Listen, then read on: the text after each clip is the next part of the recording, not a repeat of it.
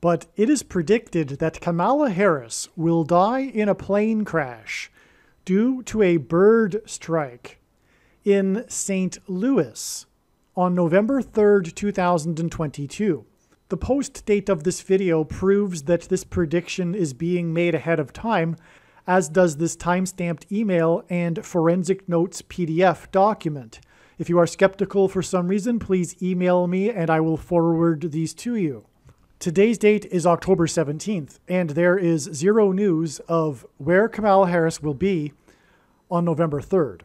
She doesn't really announce where she's going to be very often ahead of time anyway. But this is um, more than two weeks in advance, and so there's no way that Kamala Harris would be announcing dates like that that far in advance. So anyway, the point is is that there's no way of knowing where Kamala Harris will be there's no way of knowing that she will be in St. Louis on November 3rd in order for this prediction to be fulfilled. And that is the point of this particular video. I think this will be the only video that will explain the reasons for knowing that Kamala Harris will die in a plane crash in St. Louis. Not that she will die in a plane crash, but specifically St. Louis. And this video gets exponentially more interesting and amazing as it goes. And I really tie it all together at the end. It all comes together at the end of this video. Make sure you listen to all of this video. Again, this is the only video that will be explaining St. Louis anyway. But this is one of the, by for sure, one of the most important videos on this channel. I, it's just mind boggling. And it gets more interesting as it goes. And it is extremely important. It is extremely important and it really covers the big it is the big picture here. This video is the big picture. Other videos are explaining how Kamala Harris will die in a plane crash on November 3rd. And what I mean is other videos are explaining trails and prophetic signs that are indicating this and explaining how this is known. This video in particular is explaining how it is known that she will die in St. Louis, specifically St. Louis. At least, this is what I believe God's big picture of signs is indicating. To begin with, I'm just going to quickly read an, a short email that I wrote, and then I will get into some more explanation. This email is documenting the prediction that Kamala Harris will die in a plane crash due to a bird strike in St. Louis, Missouri, on November 3rd, 2022.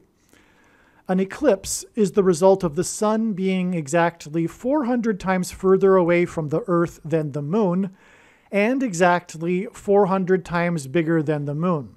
The Great American Solar Eclipse in the 17th year of this century peaked near St. Louis and over an area of the country nicknamed Little Egypt. In the Bible, Pharaoh in Egypt persecuted the Jews for 400 years, and Pharaoh is Antichrist symbolism. Exactly 400 days before the bird strike of Harris's plane on November 3rd was the day that the St. Louis Cardinals' historic 17 game win streak came to an end in St. Louis. This was the same day that the Blue Jays player broke the record for home runs in a season for a second baseman at 44 home runs. From the Bible, the number 17 is symbolism for the Antichrist, who is the 44th president that will serve a second presidency after he will replace Harris. This was also the day that U.S. Fish and Wildlife declared 23 species extinct including a bird named Lord God Bird that hadn't been seen since 1944. The 44th president wore basketball jersey number 23 in high school. This is merely scratching the surface of the reasons for how this prediction is known in advance. For more information, please read the website trumpprediction.com. All right, now let's break this down a little bit. In astronomy, the grand coincidence, and this is an astronomical term, the grand coincidence is that the sun is exactly 400 times further away from the moon to Earth and is also exactly 400 times bigger than the moon. And this is what produces perfect solar eclipses. And as far as we know, this is the only place in the universe which there is able to view perfect solar eclipses. And this is the grand coincidence. And it's exactly 400, which isn't an odd number, it's an even number. And as I was saying, he, uh, Pharaoh in the Bible persecuted the Hebrews in Egypt for 400 years. And so this eclipse that traversed over America peaked right in the center of the country over an area of the country nicknamed Little Egypt. And so this is a huge coincidence in itself. But it is pointing to the Antichrist. And, well, the second solar eclipse that will traverse over America in 2024 will pass over the path of totality of the first eclipse that occurred in 19, uh, 2017, exactly where it peaked, which is over Little Egypt and also a place named Cairo, Illinois. In the Bible, the Antichrist is described in Isaiah chapter 31, and this chapter begins with Woe to those who go down to Egypt and rely on horses. Well, Barack Obama, right after becoming president, went down to Cairo, Egypt, to deliver his famous Cairo, Egypt speech in order to tell the Muslim world that America is no longer a Christian nation.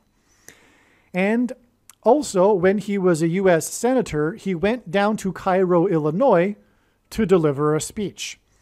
Barack Obama went down to Cairo, Egypt exactly 3,000 days before the eclipse passed over the area of the country nicknamed Little Egypt. In the Bible, after the Hebrews were delivered from Pharaoh, which is symbolism for the Antichrist, out of Egypt, 3,000 souls perished in God's judgment in the wilderness. These two eclipses engender, that cross over each other, engender an X, if you will, over the country. But more accurately, it is symbolism for a Tav mark, the letter Tav in the Hebrew alphabet. Now, the letter Tav is the last letter and the uh, 22nd letter in the Hebrew alphabet. The Tav in Ezekiel chapter 9 is the inverse of what is described in Bible prophecy in the book of Revelation as the mark of the Antichrist. So, the mark of the Antichrist in Bible prophecy is this thing that if you take, you will go to hell. And if you don't take it, it says that you won't be able to buy or sell and participate in society. You won't be able to, for example, buy the rationed food when there is food shortages very soon. And so, this mark of the Antichrist, the inverse of it is the Tav mark. And the Tav is the 22nd letter, and it's the last letter in the Hebrew alphabet. Well, the, anti, the mark of the Antichrist is described in the last book of the Bible, um, which is the book of Revelation, which is the 22nd of 22 books in the Bible that have a total of 22 chapters. And so that is more confirmation that the Tav mark is symbolism for the mark of the Antichrist. And again, the Tav mark is what is engendered with these two eclipses that are seven years apart. In Daniel chapter 9, we have a symbolic seven years described as being the period of the anti of the end times and the Antichrist's rule.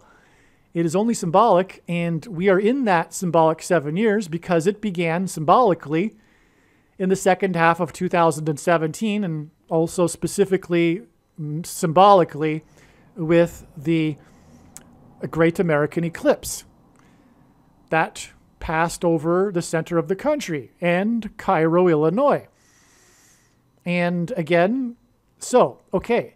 So the Tav mark, the Hebrew letters are also symbols for things.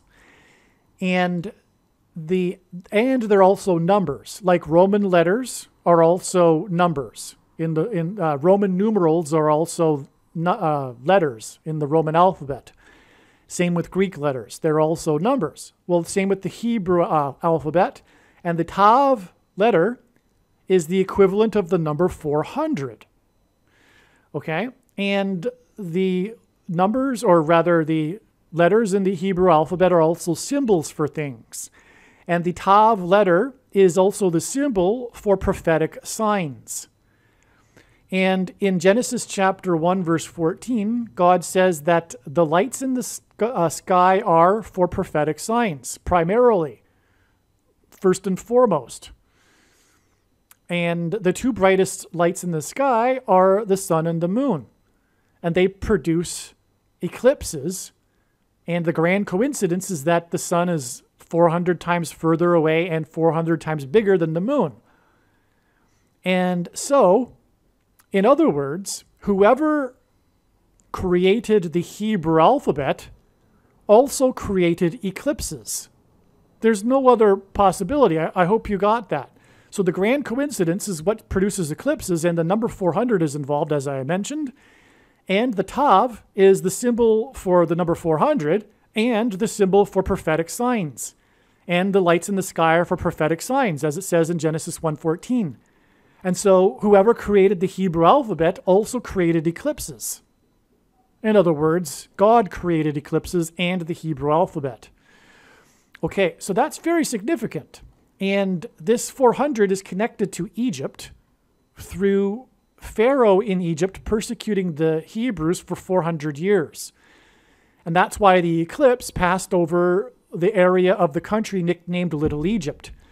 The primary reason, by the way, this area of the country is nicknamed Little Egypt is because of Cairo, Illinois, which is at the confluence of the two major rivers in America and a number of other major rivers. They all come together, if you will, in the center of the country there, and then ultimately flow out through the Mississippi River. And which, by the way, the Mississippi from the area of Little Egypt connects to Memphis, Tennessee which is named after, of course, Memphis, Egypt. And God uses Memphis, Tennessee in his prophetic signs as well. But that's another story.